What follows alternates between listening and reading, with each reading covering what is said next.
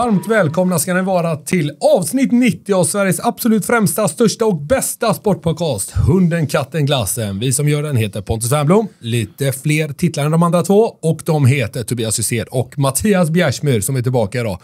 Denna månad har vi dessutom med oss våra kära Trine som ju är en investeringsplattform online där man inte bara får avkastning på sina surt förvärvade pengar utan dessutom hjälper planeten samtidigt. Vilken jävla grej egentligen. Bjärs! Yes. Du har varit iväg på tränarutbildning, var det kul? Eh, ja, det var, eller ja, det var ju utmanande i alla fall. Så, På vilket sätt då? eh, på många sätt. Dels att sätta sig, i- det var inte skolbänkar, men lite åt det hållet och sitta och lyssna liksom, och lära igen på under flera timmar i sträck var ganska utmanande. Och sen även träna flickor fem var också ganska utmanande. Vad gjorde du då? då? Kvadraten, possession? Nej, det var väl målbilden att köra typ det. Men eh, sen var det lite så här, man fick lite så här halv, eh, inte taskig, men info. Eh, dels hur många det skulle vara liksom och så vidare. Men flickor fem år, säg att de var, vad kan de ha varit? Fem år. F- va? Fortsätt. Ja, f- 15 stycken och så... Och alla ville ju spela, vad heter det, sten, sax, påse och rida häst. Så där fick jag ju ställa upp på slutet och vara häst. men, Men det har du, måste du ha vana av från hemifrån eller? Ja, ja, det har jag varit hemma också, men eh, det är klart man ställer upp. Eh, viktigast av allt, tycker jag, är att de vill komma tillbaka till nästa träning och det tror jag att de flesta vill. Kolla, nu har han varit på kuss. Ja, helvete. Nu har han varit på kuss. Så jävla tråkigt att höra på. Ja, Komma vi, vi, vi bryter där. Han får inte fortsätta prata om sin jävla pissutbildning. Fan vad gött. Grabbarna befinner sig i Algarve, Portugal, träningsläger. Vad är känslan när man hör träningsläger för dig Tobbe?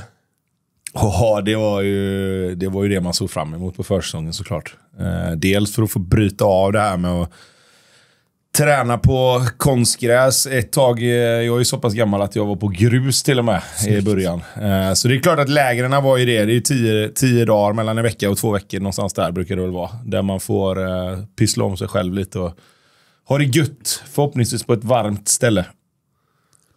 Har du några särskilda så här, eh, minnen ifrån från lägren vi hade med Blåvitt? Jag vet ju, vi drog en när Tobbe fick den i facet. Eh, när vi satt en meter därifrån. Det drog vi förra året och det var ju helt fantastiskt och det glädjer mig fortfarande. Men men- finns det något annat du tänker på? Men läger finns väl massa egentligen. Det är väl bara plocka. Jag, jag vet inte vem det är och vi kanske inte ska doppa vem det är, men det är någon, någon som drar en sån. Det här är ju innan det är billigt med roaming och sånt där. Ja, nu vet jag vad jag ska dra Ja, här. drar eh, ja, porrsurfning för 12 papp. Liksom. Det är ju också en episk story. Den räkningen sen. ja. Eh, nej, som sagt, jag kommer inte exakt ihåg vem det var. Det är väl bara det. Så lite... Jag kommer ihåg vem det var, det tänker jag inte säga här, men jag kommer däremot ihåg att eh, personen i fråga inte hade en jävla aning om att det kostar så jävla mycket förrän han fick hem den en månad senare på, på Ja, är- posten. Den är lite svår att förklara bort med. Ja, men sen är det så här, alltså träning, det är ju som Tobbe säger, träningsläger. Det ska ju vara kul, det ska vara lagbyggande och sådana här saker. Och, och det var ju faktiskt det man såg fram emot när du började träna i början på januari.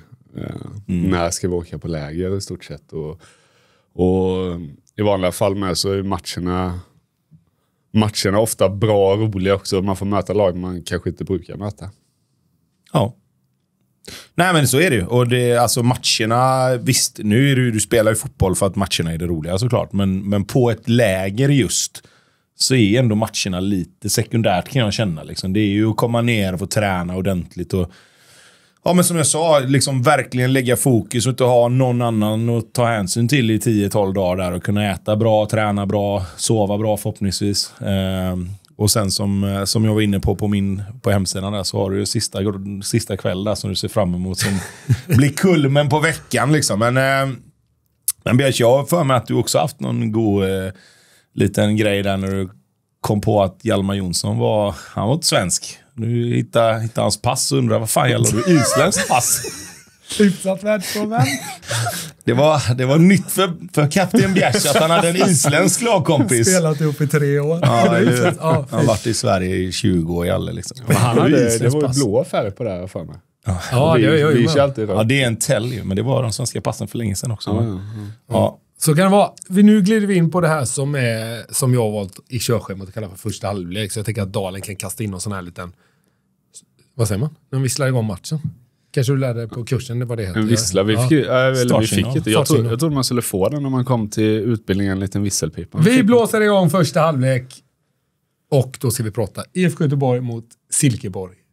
Jag visste redan innan, jag kollade på den i efterhand och då eh, hade vi en, en tråd som gick varm att det inte var särskilt bra. Första tio minuterna av den matchen vill jag hälla syra i ögonen. Det är fan i mig...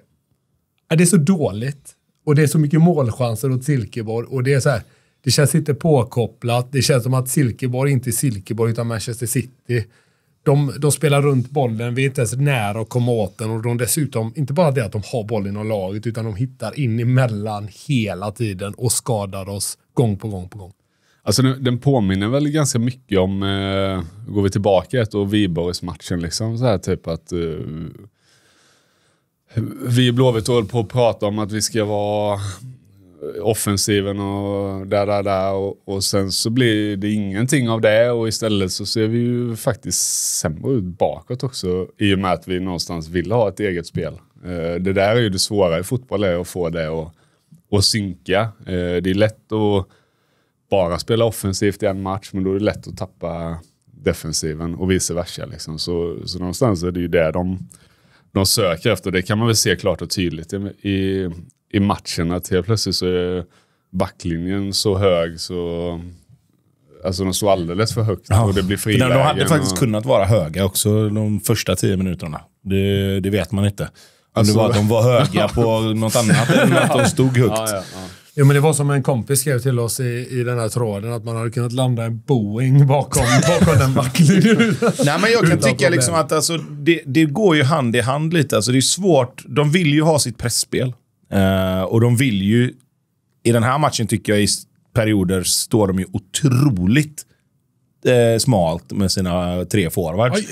Gör inte de det? För det är det Jo, jag, men det, jag blev, sitter och det blir liksom, jo, men det blir, i den här matchen blir det nästan lite för smalt. Men jag tänker väl också att efter ett tag så märker de att de börjar trä in bollar här rätt tidigt. Vi får ställa oss ännu tajtare med forward så att de inte hittar den första passningen upp och kan, kan göra det. Men, men kon konsekvensen det får, det blir ju att dels så måste du gå bredare med dina åttor då. Vilket gör att Gör du inte det så spelar de den mer eller mindre. Det är ju många gånger de spelar den från mittback ut typ till en ytter nästan.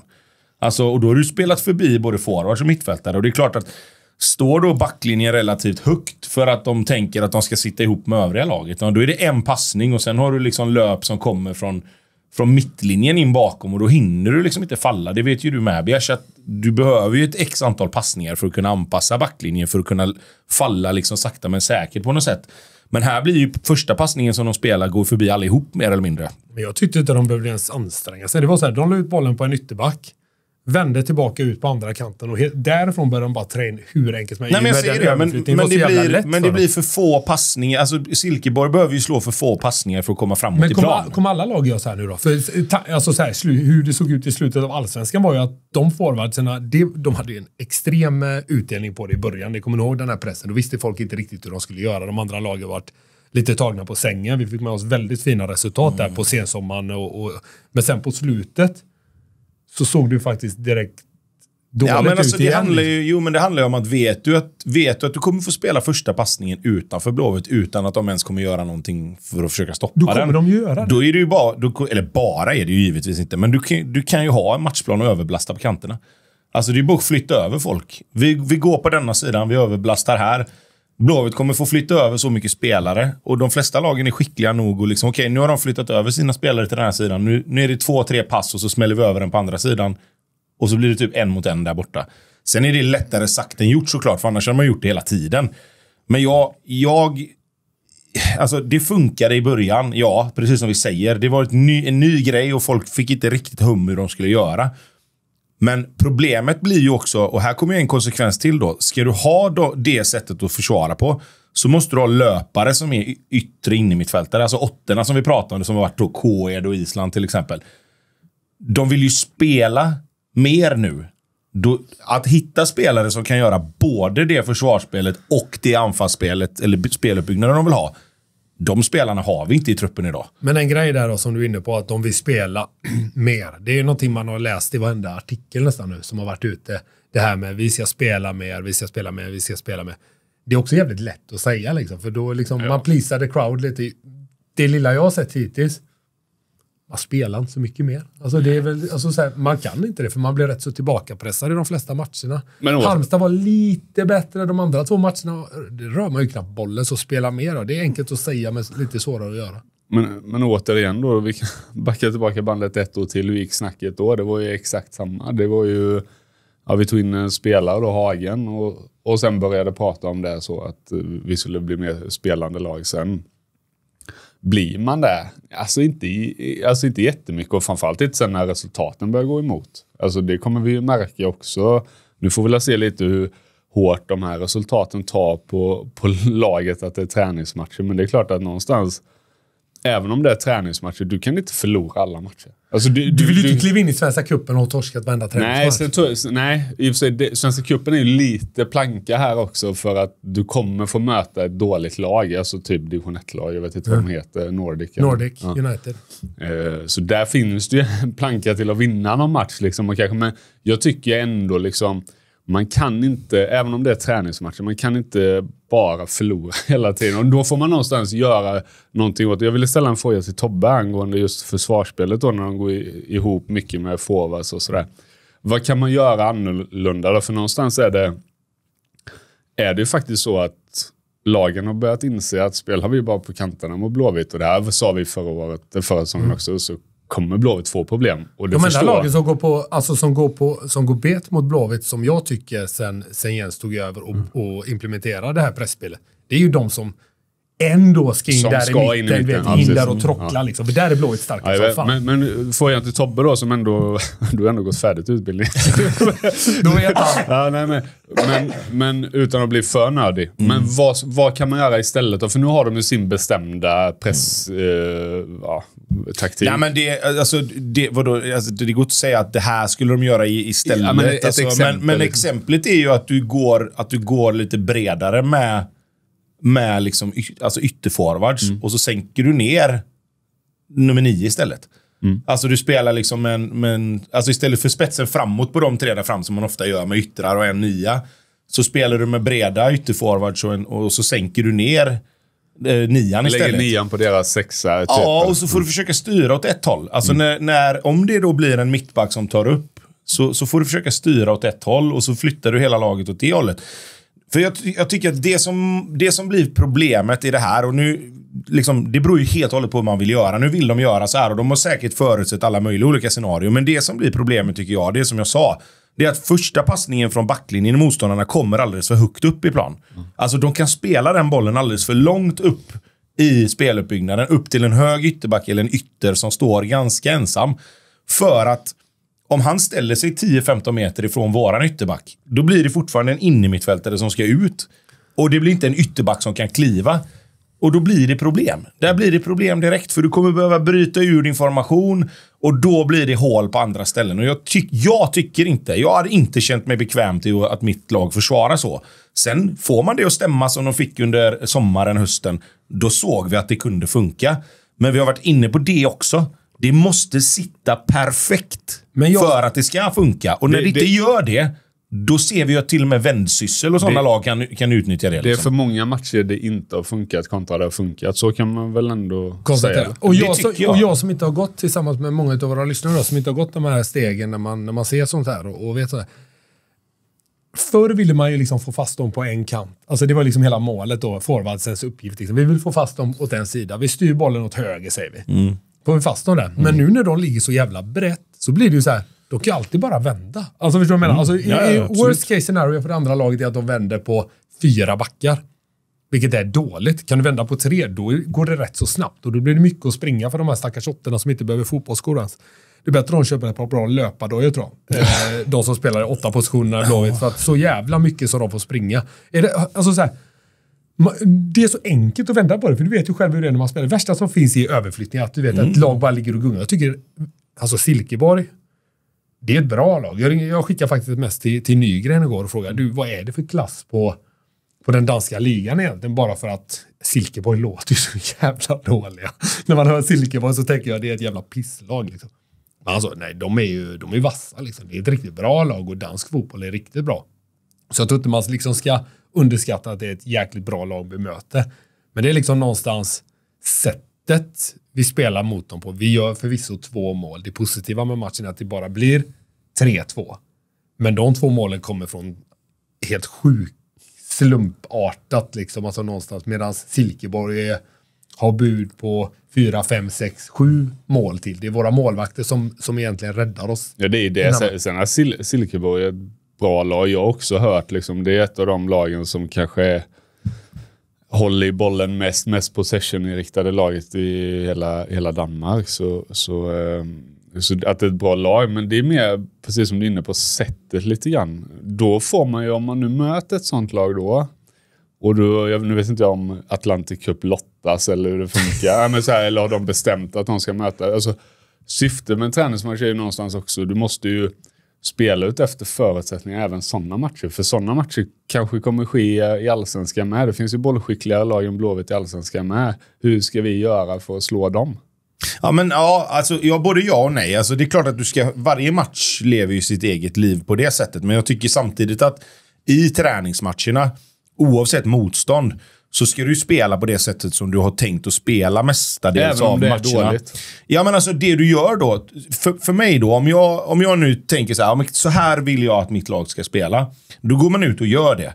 Sen ser du, så tar du Silkeborg-matchen till exempel då, och så tittar du på den och så bara, det här blev inte bra. Vad, vad gjorde motståndarna som gjorde att vi fick problem? Och så får du försöka justera lite grann därefter. Och det är det som jag tycker att de, de justeringarna ser vi lite för sällan. Alltså i den här matchen då kan jag tycka att de låg väldigt tätt med sina eh, ytterforwards till exempel, eller hamnade väldigt tätt. Om det var tanken från början eller om det var en konsekvens av att de blev genomspelade i början av matchen, det låter jag vara osagt. Men jag räknar ju med och tar för givet att de sätter sig och tittar på den här matchen och tittar, okej, okay, så här kan vi inte göra om, om lagen går brett på oss, för vi får inte röra bollen. Och då blir, då, då blir det ju därifrån, okej, okay, vad gör vi åt det? Och där kan man ju ha olika idéer då. Det var som jag sa, du kan ställa yt ytterforwards brett och, och droppa en forward. Du kan gå bredare med hela laget egentligen för att öppna mitten och sen styra in mot mitten för att veta. Alltså du vill ju, du vill ju styra motståndarna till en yta där du är tänkt att vinna bollen. Men problemet blir att, som det blev i den här matchen, så styrde de ju inte åt något håll. Precis som du sa Pontus. Utan det blev ju det blev som en julgran. Och, och Silkeborg låg och rullade nästan spela handboll både framför vårt lag och igenom vårt lag. Vilket blir ett problem, för till slut så blir du så trött att du orkar inte ta alla de här metrarna i försvarsspelet. Och framförallt, det vet ni ju själva när man mött lag där man bara får jaga boll. Du orkar ju ingenting när du har bollen sen heller. Vilket gör att du spelar dumma passningar, tar felbeslut, blir av med bollen och så får vi börja jaga igen. Ja, nu fick du fan i mig eh, ett par minuter där Tobbe och du är helt rätt i, i sak. Det håller jag faktiskt med dig om. Du, eh, lite smågrejer då. Santos ska spela högerback i år och har inte spelat högerback en enda gång. Eller på så här. Han har gjort en liten snutt, men om han nu är tänkt att spela högerback som han har sagt, är det inte läge att börja spela han högerback i, i matcherna då? Alltså den är ju, den, den tycker jag är, förutom att det är dåligt spel och konstiga grejer, så är det det konstigaste tycker jag. Har de nu då var det verkade som, i alla fall innan läget här, när de sa att han ska vara högerback och inte köra han som högerback. För det kunde man ju se tidigt. Alltså, han behöver ju gnugga som högerback. Han behöver verkligen träna på det. Liksom. Inte offensivt kanske, men just Nej, men just defensiva och ihop med backlinjen och hela den här grejen. Eh, då tycker jag det är jättekonstigt. Då får man någonstans offra den, höv, ja, han spelar till höger, eh, högerforwardspositionen. Då får man ju någonstans offra den då i så fall, om vi inte har några andra spelare. För det är ju mycket ja. Eller så får du väl bara byta på Emil och Ja, Santos. det- är, det tan- är tanken att Santos ska vara högerback före Emil när säsongen drar igång? Även om du har tänkt spela mot Cholli eller om du ska spela Oskar Pettersson eller vem du än ska spela där som inte är med nu. Då sätter du ju Santos som högerback och Emil som högerytter. Så får är med- Santos träna på sin position och så får Emil, om man säger då, offra sig och spela högerytter. Nu blir det ju att nu, är det ju, nu blir det ju liksom att Santos spelar på en position som han kan, men där han inte ska spela. Och Emil spelar på en position som han kan, men där han inte heller är tänkt att spela egentligen, för de ska spela en annan spelare där. Kanske bara min starka vilja att ha Santos som högerback som gör mig lite... Nej, men det har jag väl varit lite halvt uttalat att han Ja, ska vara jag, det. jag, jag tycker, fan låt han gnugga där liksom. För sen så kommer man ju stå där sen när tävlingsmatchen och så händer det någonting för att han inte har varit i den positionen så mycket. Så kommer man bli förbannad för det liksom. Och då, nej, kör på de positionerna de ska vara liksom. Och så får du, om det nu är mycket skador och förslitningsskador så får de lappa och laga Mm. där uppe lite i så fall i den positionen. Men sätt honom där, kör på med honom så han får, så han får ha Gurra bredvid sig som förmodligen är tänkt. Liksom. Ja, men och sen också så här, i träningsmatcherna så är det absolut läge att göra det. Jag hade fattat om det hade blivit så att ja, men man spelar Santos högerback, Emil högerytter. Det funkar inte riktigt. Det ser inte riktigt bra ut. Och så kommer du in i en tävlingsmatch. Då, då fattar jag att man kan byta Ja. tills man får det att funka. Hellre liksom. det hållet då. Ja, exakt. exakt. Men, men nu fattar jag inte att de spelar så. För då kommer det bli så här, okej, men nu är Oskar Pettersson frisk, så nu ska Thomas Santos spela högerback och Pettersson högerytter. Och så har han inte spelat mer än en halvlek mot Vendsyssel som högerback. Det blir inte heller bra. Nej. Vilka ska... De bytte ju ut Hausner i halvlek. Eh, Det blev lite annorlunda uppspel. Eh, Om man bygger på tre innan så gjorde man ju inte när eh, Oskar och Gurra spelade. Då fick man ju en naturlig vänsterfot till... eh, Vad, vad tycker ni är bäst? För så här, Hausner måste ju spela. Vi kan ju inte spela med... Fan, det är ju Ignashevich, Beresutski-ålder på gubbarna. Nog för att jag tycker att de är bra, men jag menar alltså i in the long run då, utan att det är panik. Vad, vad föredrar ni nu liksom? För att då tog man in Tronsen på en vänsterback. In med eh, Oskar i mitten och Gurra till höger. Så spelar man ju defensivt. Men, framförallt blir du lite... men alltså, du kan, jag tycker du kan spela med de fyra, men då får du sluta stå högt. Ja, de hade lite problem med, med, det. Nej, men det, är ju, det, det säger väl sig själv. Alltså, det är, ju- alltså både Gurra och Oskar med mittbacksmått mätt har ju fina fötter. Alltså det är ju bra spelare. Beresutski och Ignashevich, de, de stod inte högt kan. Nej, de men, men, men, men, men, så här, men det finns ju också en anledning till det. För jag menar, säg att hade jag som forward, eller forward, inte plural, inte då i alla fall, ehm, mött Liksom, nu tycker jag fortfarande Gurra ser hyfsat rapp ut. Kanske inte nu på försäsongen än, men förra året tyckte jag han hade inga problem med snabbheten. så. Men möter du två spelare som de två, du hade ju bara försökt locka upp det laget och sen sätta in bollar in bakom, vilket lagen faktiskt har gjort. Ett, Så att- en sak som man ska ha med sig tror jag, så här, så när vi går in i den här säsongen, är att det har gått en försäsong till. Gurra och Oskar är ett år äldre. De kommer inte vara ett år bättre, det kan jag säga. Utan att, om, att de skulle tappa lite. Gurra var en av allsvenskans bästa spelare, tycker jag, förra året. Eh, att, att vi kan ha samma krav på honom, det kommer vi säkert ha. Men jag är inte riktigt säker på att han lyckas le leverera det i år. Sen behöver inte det betyda att han, att han klappar igenom totalt. Men jag säger bara att det kan liksom, det är ju risk i den här åldern liksom. Eh, Ja, ja, så är det. liksom. ju- Och, och, och framförallt så är det risky med tanke på att Blåvitt har ju lagt hela sin tillit till att han ska vara bra igen. Mm. Och spela Hausen bredvid eftersom de inte har köpt in någon mittback. Det är ju det vi har varit inne på. Det var jag inne på när vi körde våran truppplanerare, att vi behöver en mittback till. För din- de, två som är bakom, de två som är bakom eh, Gurra och Oskar, eller vad heter det? Gurra och Hausner, de håller inte än. Vem ska stå i mål då? Dahlberg. Ja, jag tycker väl, eh, jag har väl vacklat lite också, men eh, nej, jag säger väl Dahlberg. Det, är- alltså så här, målvaktens främ, främsta uppgift är att rädda bollar. Har han räddat asmycket bollar? Nej. Kommer han rädda mer bollar än Elis? Ja, förmodligen. Så jag tar nog, tar nog eh, Framförallt var ju båda bra i, i den här matchen mot eh, Silkeborg, tycker jag.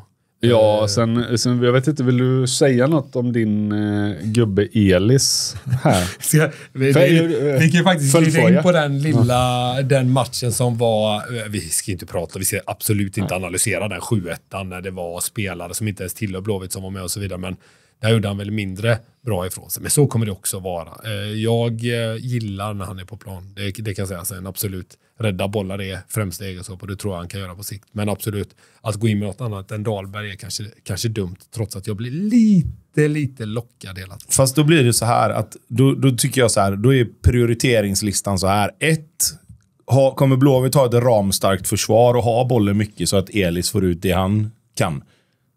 Antagligen inte. Nej. Två, då kommer det antagligen bli rätt mycket anfall mot, rätt mycket avslut mot. Inlägg. Och vem är då bäst att ställa i målet? Ja, det är Dahlberg Ja, alltså. fortfarande. Så att det, där, är, där har du mitt svar. Liksom. Blåvitt måste få utveckling på, på Dahlberg, för han är garanterat en av de mest avlönade, eller högst betalda spelarna i truppen och då behöver han vara en av de bästa. Så jag tror verkligen att vi, han behöver ha ett bra år. Eh, så, och så får vi la se dem med fötterna och så. Där är jag Mm. fortfarande inte imponerad. Inte i den här matchen heller, men som ni säger, han, han tar ju faktiskt Men om, bollarna. men, om, men om vi bara liksom innan vi går vidare.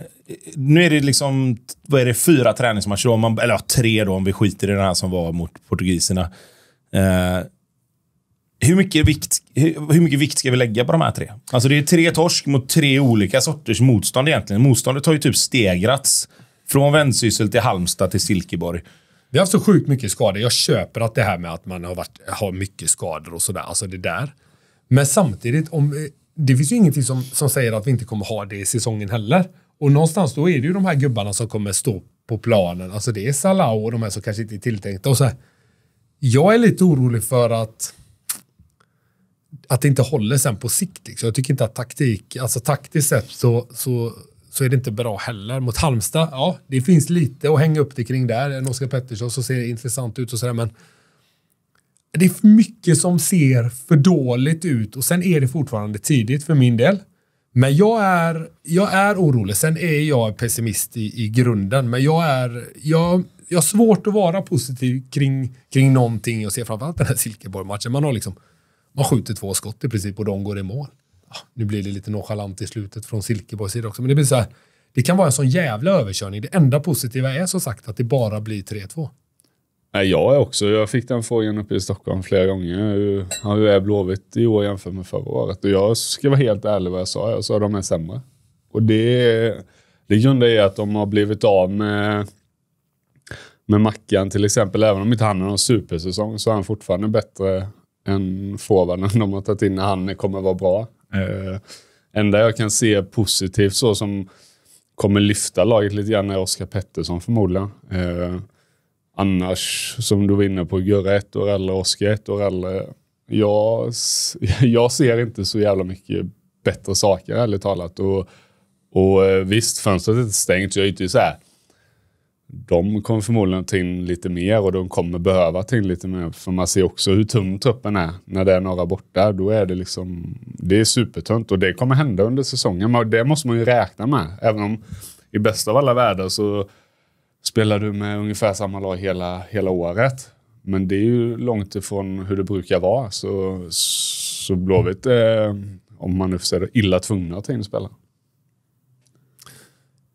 Eh, med tanke på att det blev 1-7 då, en match som inte går till historien. Blåvitt ställde upp med, ja det är ju C-laget liksom. Det är som jag var inne på, till och med spelare från Frölunda som inte ens tillhör Blåvitts organisation trots att det är vårat farmarlag. Vet du vad vi gör? Vi ringer en gammal bekant som jag vet är någon som sketen suppleant eller någonting där uppe i Frölundas styrelse som givetvis har en finger med i spelet att eh, Frölunda blev Blåvitts samarbetsklubb. Vi ringer Moradona. Wow! Uff. Tunga gäster nu faktiskt. Ja. Bokstavligt talat. Ja, han var fan tyngre än dig. Hej, det var George. Tjena George, det är Pontus Wernbloom, Tobias Hysén, Mattias Bjärsvik, dina gamla lagkamrater här från Hundekatteglassen. Wow, härligt att höra från er. Ja, fan vilken snygg. Jag ser din bild här på WhatsApp. Det är en modellbild du. Det får du avgöra, inte jag. George, du hatar inte att se bra ut på bilder. jag blir, grejen är så här, jag blir ju aldrig bra på bilder. Det är det som är mitt dilemma. Du menar att du är bättre i verkligheten?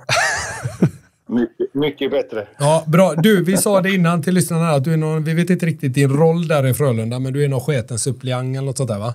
Eller hur ser det ut? Precis, Precis så är det.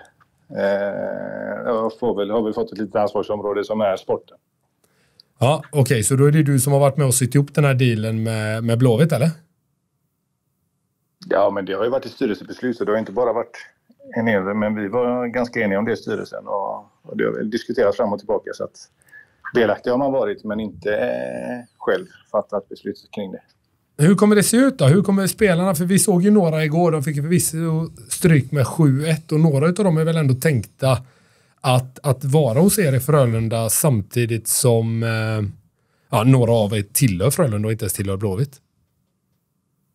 Ja, men så är det. det vi tillsätter ju truppen tillsammans. Så några av spelarna kommer komma från Frölunda och några av spelarna från, från IFK. Och så kommer de bilda ett lag tillsammans eh, som tränas av Marcus Lantz då. Och så kommer de också få möjligheten att eh, träna. De kommer finnas tillgängliga om Blåvitt skulle vilja kalla upp spelarna till A-laget då. Och det är tur, att de, det är tur att de slipper att möta de här portugiserna igen då. Ja, det var väl inte den roligaste matchen för dem att spela. Eh, George, får jag fråga, har ni, har ni tillsatt någon assisterande tränare? Ja, det är tillsatt från Frölunda. Okej. Som heter? Oh, nu sätter du Fan vad gött att du sånt där ska du kunna när du är i sportsliga rådet eller vad det heter. Jo, men det är så mycket namn. Jag har ju precis börjat nytt jobb också. De, de sitter och pekar är- på varandra i Sportrådet Frölunda också. Nej, det gör vi absolut inte. Där har vi... Eh, det, vi pekar absolut inte på varandra här, utan vi, vi, vi, vi ställer oss upp och tar vårt ansvar. Nej, snacka Men- men Det har inte blåst än bara. George, Det eh, blåser alltid Frölunda. George jag, jag tänkte på de här spelarna. Du har koll på vilka det var som blev nedflugna till, Spanien, eh, till Portugal, va? Ja, va? Är det de... Är det ni som bestämmer, typ? Eller gick det efter position just i den här matchen som var? nej, utan de blev, det var inte vi som skickade ner dem, utan man tittade på vilka man behövde. Ja, okej. så, ja, så det är liksom IFKs sida som har skick, skickat ner dem, om man säger så, önskat dem. Ja, ja. Ingen skugga ska falla över dem över en, en svår match igår. Du, George, innan vi släpper dig så vill vi satt och pratade lite om det innan. Så tänkte vi, kan inte du dra den här med, med Arne Erlandsen när du sulade en boll mot honom?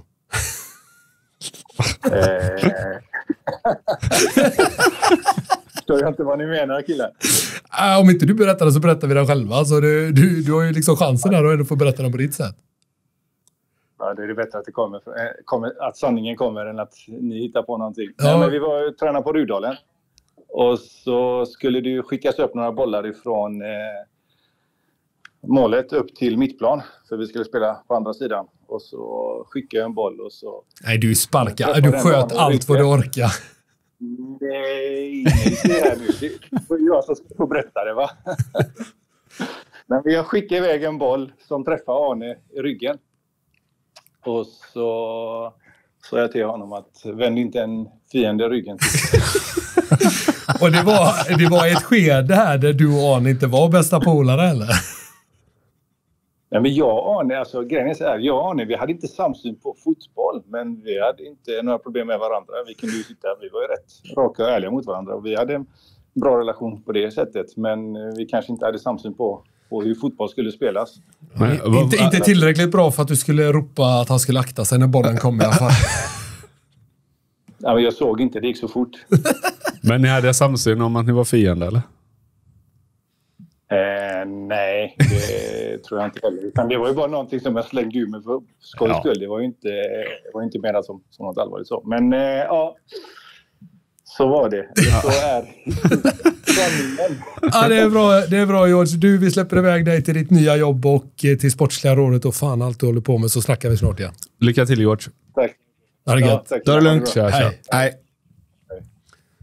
Vi eh, kör, vidare lite avsnitt. Jag tror Tobbe, du har ett litet kort där. Precis. Jajamän. behöver jag säga till dig varje gång. Nej, nu börjar jag få lite kläm på detta. Men eh, ja, i alla fall då. Nu kommer ett hett tips till alla er som investerar på börsen, men känner att man skulle ju dessutom vilja göra lite jävla skillnad med stålarna. Trine, som jag också börjat investera i nu ett tag, är en investeringsplattform där du kan investera i solenergiprojekt på tillväxtmarknader som Nigeria, Indien och Chile.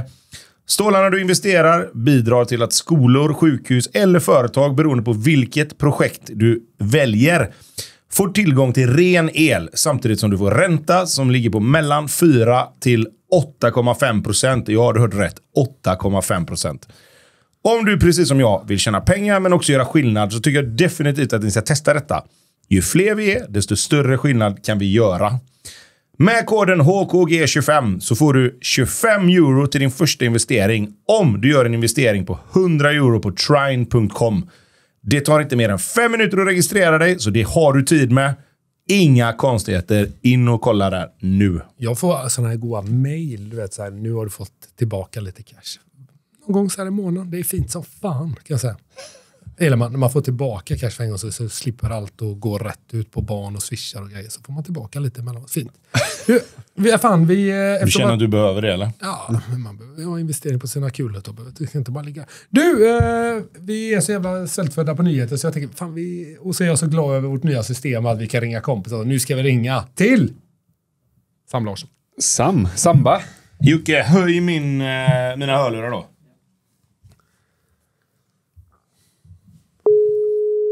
Nu så.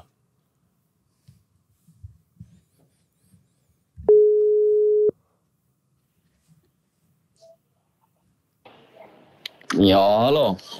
Eh, Presenterar man sig inte när man eh, svarar hallå? Det är Pontus, så här gör man Sam om man ska vara det. Det är Pontus, Tobbe och Bjärs här från Hundekatteklassen.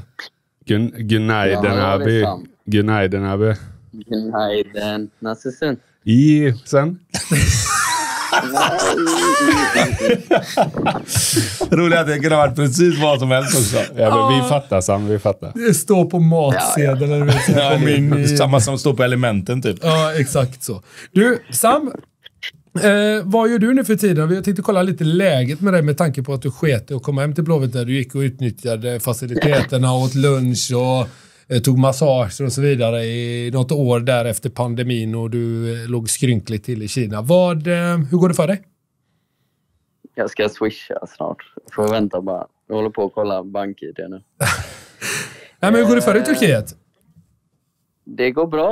Eh, vi har ju en ganska OK säsong faktiskt. Vi eh, var riktigt rötna förra året. Men i år har det varit, varit rätt bra faktiskt. Vi, det låter ju mindre bra när man säger att vi ligger åtta, men vi har verkligen hängt på tredjeplatsen här med Fenerbahce och Galla som har bara stuckit iväg. De spelar i en egen liga typ. Men eh, vi är ändå med där uppe. Ja, då blir ni typ 12 eller någonting då, skulle jag tippa, eller? Holva är bra. Det är, Kan jag försöka bräcka mitt? Jag tror vi kom sexa ett år. Vi kan ju försöka slå det. ja, det blir tufft. Det blir tufft va? Men du, eh, berätta. Nouri Sahin, han är inte kvar va? Nej, han eh, lämnade. Det var väldigt överraskande. Han, eh, det är ju lite hans projekt detta. Eh, han drog till Dortmund nu i, precis innan nyår. Han la det i vågskålen. Dortmund och vad fan är Antalyaspor? Eh, han hade nog väntat på den rätt länge så han är väl någon slags assisterande i Dortmund nu. Men det känns väl som att hur det än går så blir det nog eh, huvudtränare efter sommaren va, för honom där. Så man får väl köpa att han tar det, lämnar oss. Men uh, vi fick in någon turk. Bjärs, jag vet inte, hade du, någon, hade du turk som tränare i Turkiet eller? Ja, det finns ju bara... De, alltså, de har väl bara turkisk tränare tror jag. Ja, det, nej, det har varit rätt många utlänningar. De, vi, har en, vi har en turk nu. Det, var, det är en upplevelse. Ja, det är det. Men, Det är inte så mycket taktiskt och sådär. Kunde jag tycka var ganska skönt i sig. De satte ut de elva bästa. Alla spelar 4-5-1 och så bästa laget vinner. Underbart. De har inte gått några kurser. Det är inga Nej, men, De nej, sen spelar inte tätt med sina forwards. så jag vet inte hur du känner Sam, just ledarmässigt, ledarskapsmässigt. Fan rätt fine ändå liksom, tycker jag. Alltså rätt human being och allt det där. Så för mig var det inga problem Ja. i alla fall. Sen fattar jag vad du menar. Det låter inte som att Nej, Sam har nej. riktigt. Jag vet inte hur du uppfattar Nej. det. Det låter nog inte samma turk som tränare. Nej, men så här då. Om du är 20 år och någonstans ska fortsätta din fotbollsutbildning lite grann så är ju inte det ett bra steg. Så kan man väl säga. Sen eh, var det rätt skönt när man var äldre. Ja, jag håller med. Vår, alltså, Nouri Shahin var ju extremt taktisk och noggrann med detaljer och allting. Men eh, vår nya gubbe som kom in, han är ju... Han bara kör. Eh, vilket har varit alltså, rätt uppfriskande ändå. Särskilt som offensiv spelare när man får lite friare tyglar faktiskt. Så det har, vi har ju kanske inte spelat eh, så taktiskt vacker fotboll sedan han den nya kom. Men vi, eh, vi är svårslagna nu. Vi torskar mot Fenerbahce nu hemma. Det var första, andra torsken på typ 15 matcher, 16 matcher tror jag. Jävlar, snyggt. Så vi har ändå haft, eh, vi har haft rätt bra streak innan detta. Snyggt Sam. Du, eh, en fråga. Vi tänker inte sitta här och intervjua dig hur fan det går för dig i Turkiet och sådär. För det ska jag villigt erkänna, det skiter vi rätt så hårt i. eh, så här. Varför blev det inte Blåvitt där när du var hemma och ja, gick runt och trampade på Kamratgården i väntan på vad som skulle hända i Kina och sådär? För jag, jag kommer ihåg, jag var ju med ett tag när du var med och tränade och i mina ögon var du alldeles för bra för Blåvitt. Eh, Du hade gjort en enorm skillnad om du hade skrivit på såklart, men du var, du var ju överlägsen på, på varenda träning egentligen. Och så undrar jag bara så här, hur... Var det, var det bara du eller lyckades inte Blåvitt... Eller varför lyckades de inte få dig hem liksom? När, när det ändå någonstans fanns ett litet, en liten chans för dem att få hem en, en Sam Larsson i, i en prime-ålder i alla fall. Du hade inte spelat fotboll på ett tag, men i, i en ålder som är allt annat än vi andra som vände hem. Eh, det var ju ganska många svängar först. Eh, första gången jag tänkte på det var nog när Fanerud var sportchef. Jag, jag, lite, jag blandar ihop åren lite, men det är väl 2021 eller? Är det 22? Herregud. 2021 va? Ja. när jag, eh, när jag Alltså vi blir lediga efter, eh, vi åker ur ligan med mitt kinesiska lag och så ringer faktiskt, jag tror Pontus ringer på, i taxin på väg till flygplatsen. Uh, och då säger jag liksom, okej, vi får lugna oss lite för jag vet, jag vet inte vad som händer men det är klart att det är ett alternativ. Men sen så gick ju månaderna där, januari, februari, mars och sista dagarna, jag tror även Pontus eh, lämnar ju som sportchef under den här perioden. Men jag uh, har ju tät kontakt med honom om att om att komma hem för att kineserna inte vill fortsätta med mig var ju känslan. Men sen så hör ju de inte av sig. Eh, kineserna de svarar inte på någonting. Eh, tills 31 mars när det stänger och då hade jag fortfarande förhoppningen om att vi skulle få till någon slags, eh, något slags avtal fram till sommaren för att jag ville verkligen spela fotboll. Men då sket ju de i det, kineserna. Och sen så eh, stämde jag dem första april tror jag det var första, första dagen jag kunde skicka såna, såna papper och eh, blev ju fri istället den 15 april men då var det redan för sent. Eh, Ja, Okej, då kunde du inte krita jag- på för Blåvitt där då. nej, exakt. Och då var tanken fram till Eh. sommaren bara då, eller så du skulle komma in och göra en Hamsic? Alltså det var egentligen ingen, eh, inget uttalat för att med Pontus så Pontus ville ju ver- verkligen få hem mig över, över ett längre kontrakt och kanske kruta på lite mer. Eh, Rent pengamässigt då, eller för att få hem dig? För att locka dig med, med stålar också, eller för att du skulle skita i miljonerna nere i Antalyaspor till exempel? Ja, men det var nog ändå känslan. Sen när han eh, drog så pratade jag med Håkan också. Håkan, det är klart att Håkan ville, han ville också ha hem mig, men eh, sen när det sket sig i april där så tog jag, tog jag en liten paus. Jag var inte hemma. Jag, jag tränade inte heller och sen så eh, innan sommarfönstret så blev det väl snack igen eftersom jag inte... Alltså, folk blir väldigt kränkta när man säger så, men jag hade inget som jag tyckte lockade tillräckligt. Och det är jobbigt för Blåvitt-fans att höra tror jag att man går och väntar på att något fönster ska öppna eller stänga. Liksom att, eh, som med Moberg Karlsson nu till exempel. Mm. Eh, att jag ville nog se vad jag hade först innan jag, innan jag började tänka på, på Blåvitt så, som jag att komma hem, för då hade det blivit ett längre avtal. Ja. Eh, men jag kände nog inte att de, de tryckte inte på så som de borde ha gjort. eh, Du menar att de borde, ha, de borde ha ringt till eh, intressenter och så vidare och sagt att vi behöver ha in ett par här nu för att Sam för move the needle så att han flyttar hem liksom? Med tanke på din ålder och så vidare.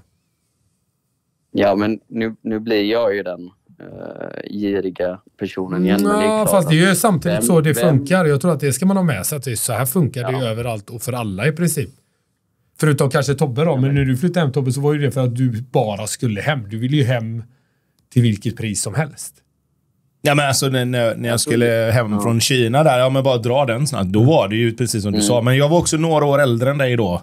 Eh, jag var ju 34 det året som jag flyttade hem från, från Kina. Om man säger, hade jag varit 30 så kanske jag hade jag kanske hade tänkt lite, lite mer som du, eh, Sam, där. Men samtidigt, alltså jag har ju alltid... Jag har ju alltid varit mer hemmakär kanske också. Det, man ska nog inte lägga normerna efter, efter vissa spelare heller, för det är så olika situationer Nej. som alla sitter i.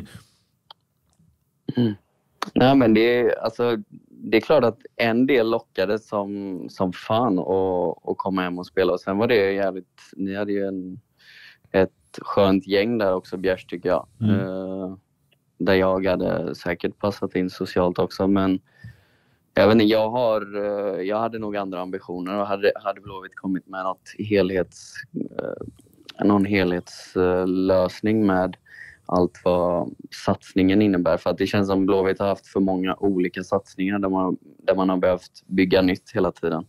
Och nu, står ju, nu är det exakt samma punkt igen, tycker jag, om jag kollar utifrån. att Nu behöver de satsa på, på att bygga upp det igen. Ehm, och det, jag kände väl inte att just då motsvarade inte... Jag hade inte samma ambitioner riktigt. Och sen kom detta och då hoppade jag på det ganska snabbt. Ja, nej, det var bara det jag ville reda ut Sam. Jag tycker inte att du behöver känna att eh, någon skuld i det. Jag tror som sagt, jag tror att det här är liksom... Är det någonting normen är så är det nog att agera så här snarare.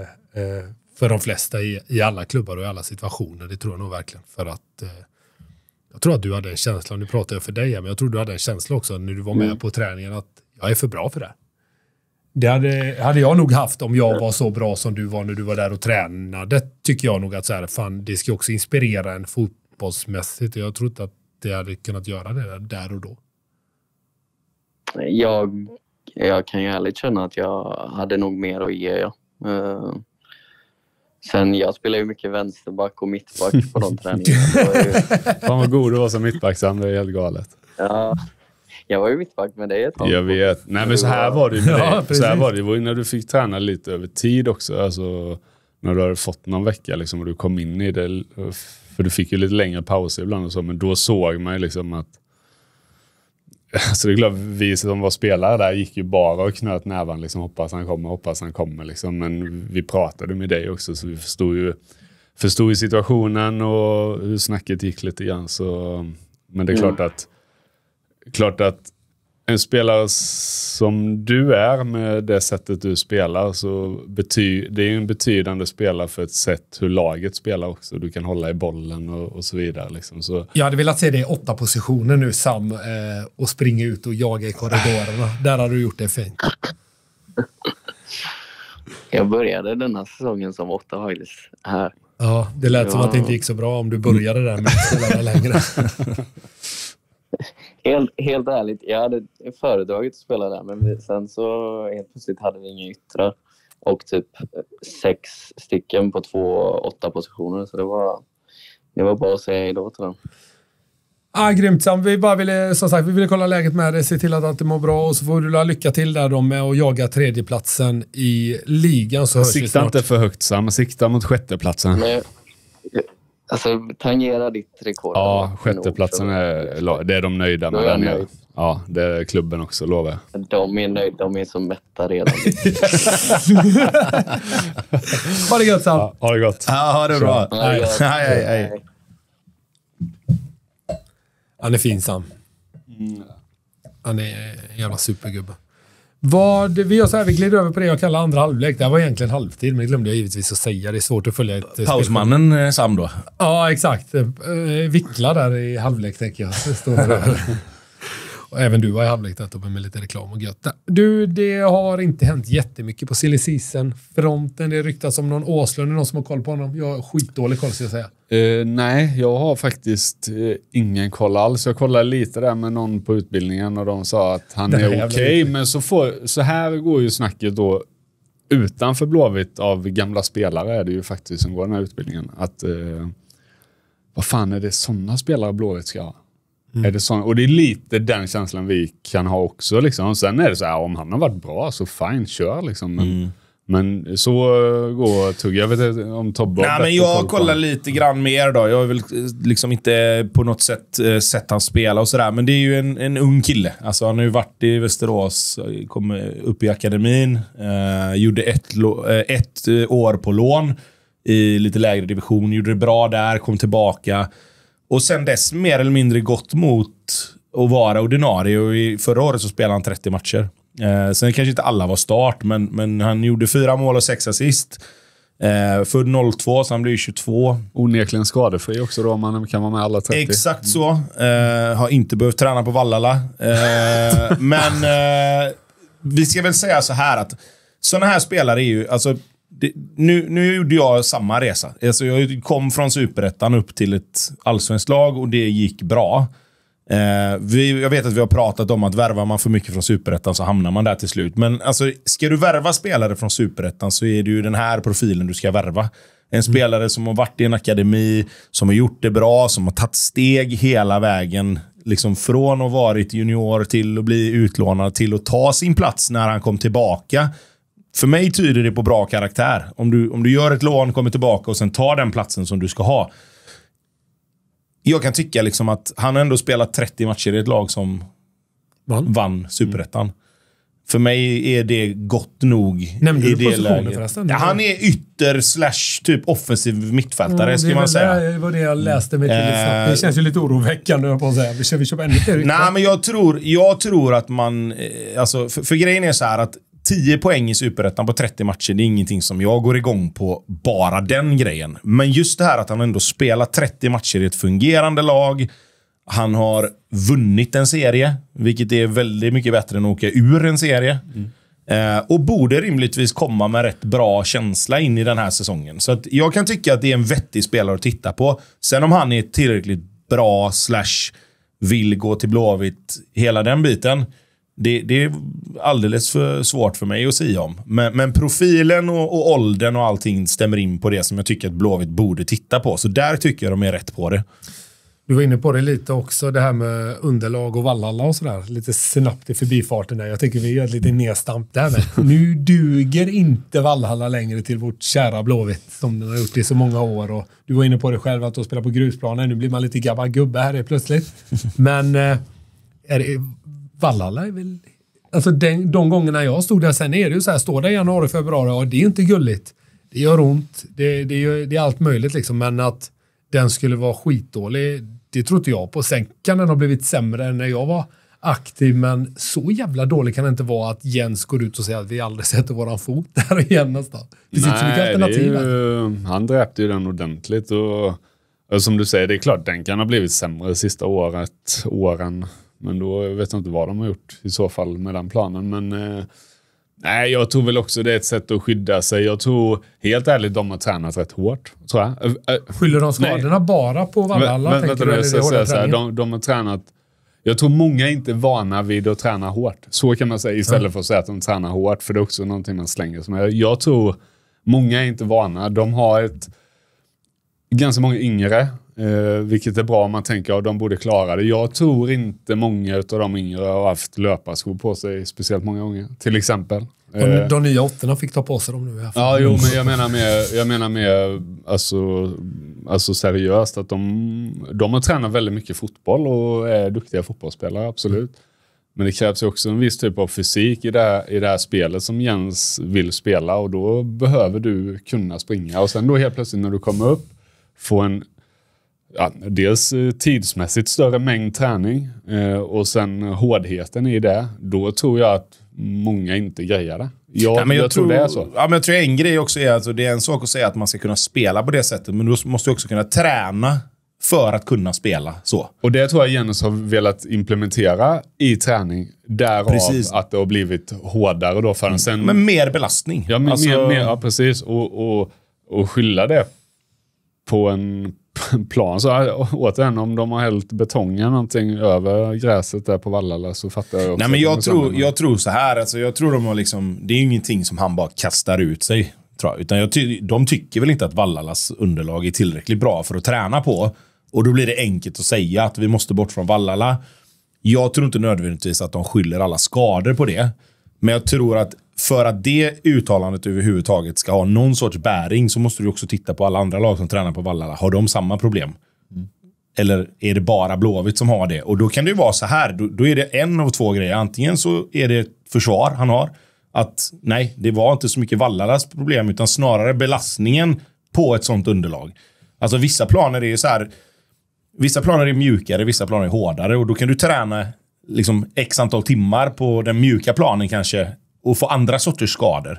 Så att jag skulle säga att det är något mellanting av att de har tränat lite mer än vad de kanske är vana vid ihop med att underlaget kanske inte är så skonsamt för att träna så mycket. Eh, på, på just det. Då. Alltså hade de tränat lika hårt på, en, på ett annat sorts konstgräs så kanske resultatet hade blivit annorlunda. Sen Men är- sen är- återigen, det blir bara spekulationer. För jag, det finns ingen studie tror jag, Och så som jävla- säger att Vallala är, är värre än någon annan. Så mycket har de inte hunnit vara på Vallhalla heller. Eller? Alltså det har ju inte varit så mycket. Jag vet när det var svinkallt så var de i, i hallen. För att det gick inte vara på Vallhalla. Och den är ju värdelös. Ja, den, Så den är ju supertorr liksom. Men, men, och sen, alltså de har varit igång en månad typ? Mm. Och de har varit på läger nu en vecka då och så eh, typ någon vecka inne. Så någonstans, det försvinner ju lite där. Har de varit där två veckor och alla, alla ont hela, hela tiden så tycker jag det är konstigt. Göteborg är inte Algarve. Nej. Eh, A-lagskontrakt till Brantlin. Bra. Skönt att ha knutit upp en gubbe på ett A-lagskontrakt kan jag tycka. Sen att man inte har gjort så mycket i den här miljön. Men jag tycker att är du bäst i, i din ålderskull och så vidare och, och, och allt sånt där och även visar att du, att du håller i, i, i träningsmatcher så tycker jag det här är det här är bra Blåvitt. Det gillar jag. Jag vill att vi ska gå ut på li- med lite positiva grejer också. Jag tycker att Ja, det är bra. väldigt, det- bra. väldigt alltså- bra till och med. Det är ju bra så sätt att nu kan vi inte förlora honom på ett, på ett så enkelt sätt. Liksom. Nu har han kontrakt. Och nu kan inte jag alla regler vad som gäller för unga spelare och sådär, men det är ju klart att det är bättre än att han helt plötsligt går till eh, Brönnby till exempel, eller vad det är. Eller AIK, som lagkaptenen i hans 08-gäng. Ja, Elvis van der Laan gick till AIK. Ja, Antagligen relativt billigt. Ja, ja men precis. Så, så de någonstans är kvar i, i eh, organisationen. Det tycker jag är jättepositivt. Sen tycker jag nu får vi... Han är superduktig för sin ålder. Vi får ta det lite vackert. Det är inte, jag vill inte se någon kalla honom för Kevin De Bruyne någonting i, i, i media. Liksom. Så här, håll det nu. Låt han växa och gro i, i sin takt. Liksom. Sen ska man faktiskt ha med sig, det hade jag ingen koll på innan, att han är uppfostrad i IK Kongala som flera giganter har gått i. Du har inte ens hört om honom och det är din klubb? Han är så pass ung. Han gick ju när han måste gått när han var ännu tidigare, direkt när det startade upp akademin. Så det är Ah, väl okej. inte så konstigt att jag inte har koll på honom Nej, förrän då, förra då veckan. är han liksom. ju Blåvitt och då är han ju inte igång. Det görs hårdingar där ute på, på, på vischan. Eh, det finns en del andra nyheter också, så jag tänker vi inte ta dem. Blåvitt har blivit sponsrade av ett gäng lapplisor bland annat. Man ska köpa en ny arena och Serneke kritade på ett långt avtal, vilket såklart är är bra och positivt. Och så är arenafrågan upp igen. Och det är väl som vanligt att man kollar på alternativ så blir man kvar på Ullevi, men eh, det är gött att den alltid, att de håller den varm. Ja, det, den ska vara levande. Ja, Den kom det är väl som ett brev på posten. Ja, men det vi kan väl men- konstatera, det här med Serneke tycker jag är jättebra. Ja, alltså, svinbra. det, det, alltså, ju där vill man ju ha kontinuitet, ja precis. Ja. Alltså, där är ju det ju verkligen så här att sponsorer och, och hela den biten känner att det fortfarande finns liksom någonting att, att sätta sina liksom, företags eh, både logga och, och pengar i. Det är ju ett bra tecken på att det då går hyfsat eh, Ja, det är svinbra. Det är på, andra ställen helst. än bara planen. Då. Det är svinbra. Och i och med det så blåser vi av matchen. Tänker ni, nej, nej, vi går in på stopptid. Och på stopptid, det är det tänkt. att- Spottid. Spott, spottid. Då ska vi ha, vem tjötar vi om? Och det står ju faktiskt 6-4 till Bjärs. Det blåser på toppen. Det gör det va? Det är ensamt där framförallt. Ja just det, de ska vi ha. Bra Tobbe, du är med i matchen Bjärs. Du får en liten, en liten penna. Du fick ett, Får jag ett prova? För jag tror vi har bytt knapp eller? Ja. ja, så låter det här. Det var vinnarknappen här, så jag tog den. Okej, och sist faktiskt glömde jag ju nämna att det är vår kände vän Mattias Liss som skriver de här. Det är inte jag själv, så jag ska inte ta cred för det, utan all cred ska, ska till honom. Och Och förra veckan då när Tobbe körde träningsmatch i det här så var det hans pappa eller? Ja, precis. Pappa den, Glenn, den ja. löste han. Ja. Och så som vanligt då, så avslöjar inte ni någonting, utan ni skriver ner. Nej, men ni ropar inte rätt ut. Du håller inte på och pratar emellan Tobbe och sånt där, så jag får hålla på och klippa i det här. För det blir, eller ja, det blir ett jävla jobb för? Jocke här bakom och för Dalen på, på ljudet. Så att vi kör igång helt enkelt. 10 poäng. Always You sjöng en svensk sångerska i sin debutsingel från 1995. En låt som senare fick vingar och bland annat figurerade i filmen My Best Friend's Wedding. Vad har detta med Blåvitt att göra? Hör jag er skrika i bakgrunden. Inte Tobbe och Bjärs känner de ser bara dumma i huvudet. Jo, Sångerskan delar efternamn med den spelare som eftersöks och filmen kom ut en månad och en vecka efter att han föddes. Så här, Tobbe. Om du har rätt nu på 10 poäng. Tobbe rycker på 10 poäng. Ja. Så du kan inte rycka på det. Ja, absolut. Det är lite pinsamt också Tobbe, att, att du drar den på 10. För det innebär någonstans att du ska veta vem... Ja, nej. Det, Vadå? Jag får- nej, absolut. ska jag säga hur jag nej, vet det? Nej, absolut inte. Nej, det ska få göra sen. Åtta poäng. Denna landslagsmeriterade striker med dubbel söderanknytning var aldrig uttagen i något ungdomslandslag utan tog istället den långa vägen till framgång. En stor skillnad jämfört med hans sju år äldre förnamne som var given stjärna i alla ungdomslandslag och som gick till Liverpool redan som 16-åring. Det har dock blivit betydligt många fler allsvenska mål från vår eftersökta spelare jämfört med vad det blev för Liverpool-talangen. Vä- vänt- Fan vad mycket info det är nu. nu. Nu är jag helt, jag är helt blank. Men Ja, det är du. Det är du. Du är helt blank också. Det är så Ja, jävla gött. Du har varit så i två veckor. Alltså så här, vi, pra, ja, vi pratar ju bara Du ska inte prata högt, så tänk, tänk i huvudet för att vi vill inte spoila någonting för lyssnarna. De ska ha sina egna tankar, tänker jag. What the fuck? Du tänker inte dra här i alla fall? Nej. Vi går vidare på sex poäng. Några baljor för Blåvitt blev det däremot inte och sessionen på Kamratgården får sägas vara en rejäl flopp, även om han lyckades brotta fram en och annan straff. Ett mål har anfallaren satt dit för sitt landslag, som inte är det svenska, på fem matcher och fler lär det knappast bli, även om han alltjämt är aktiv.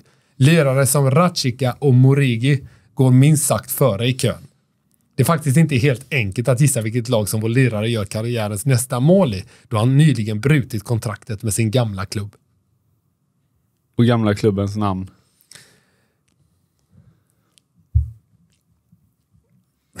Nu är det jobbigt, Bjärs. Det är många poäng. Har vi en vit flagg så får vi vifta med. Fyra poäng. Denna Skånepåg hade karriärens finaste stunder i Halland då han kom trea i Superettans skytteliga när hans klubb tog steget upp till allsvenskan.